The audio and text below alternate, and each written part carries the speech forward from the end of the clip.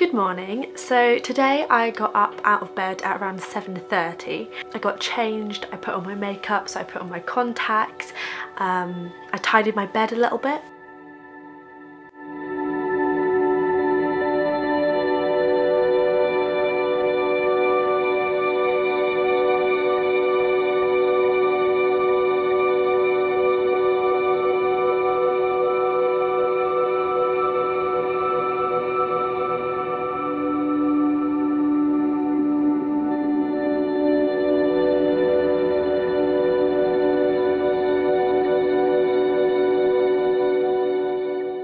Because I'm on my Easter break, that means I have two weeks to do a lot of revision before I go back to school before my exams. It's been requested by you guys that I film one of my days where I do some studying and some revision so you can study along with me or just see my daily routine as a student. So once I'd had my breakfast, which was just my usual fruit and yoghurt, I then brushed my teeth and left the house.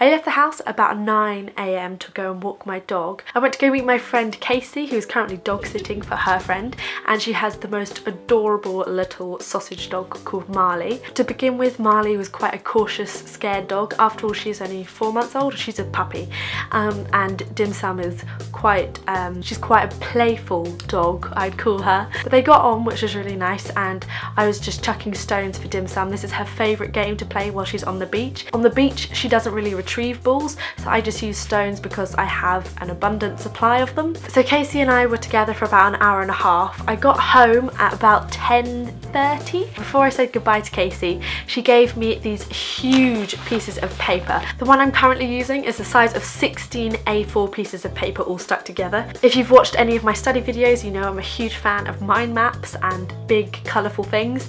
So once I'd got home I laid out all the paper, I picked the one which I wanted and I've started doing some of my geography revision. If you do geography A level you know that you get a pre-release about eight weeks beforehand. This was let out a little bit early and it's about the development gap in Costa Rica, Nicaragua and Panama. Because I need to know the resource booklet inside out um, and some extra stuff I've decided to all stick it onto one big piece of paper and then do loads of annotations and print off some photos to make it nice and visual. On a normal school day I try to aim to do at least three hours of study if possible. But during the Easter holidays, it's pretty much just revision all day. I'm making regular trips down to the kitchen whilst doing this, and I've pretty much eaten anything that's edible in my kitchen. I'm gonna take a quick break from revision. Puming and I are gonna quickly pop down to the shops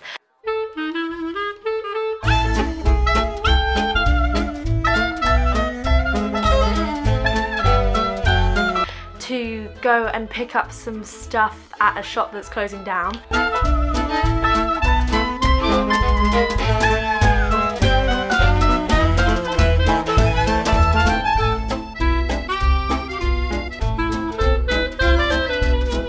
But before we attach a GoPro to my dog and see if that works,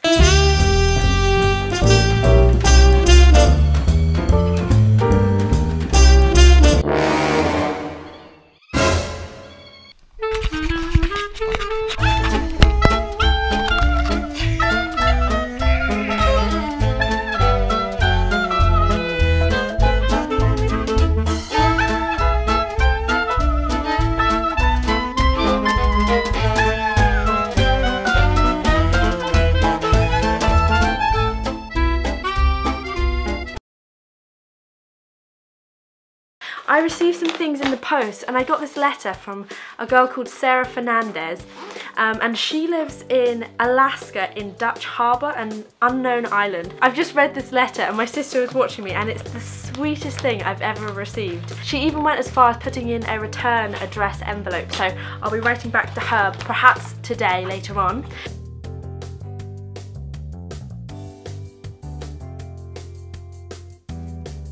Um, I also got a My Waitrose card and my sister's birthday present arrived in the post. So, crazy day. All these packages.